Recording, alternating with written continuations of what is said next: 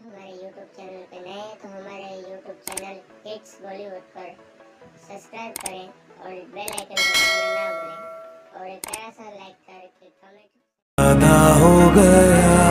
इश्क तुमसे मुझे, थोड़ा ज़्यादा हो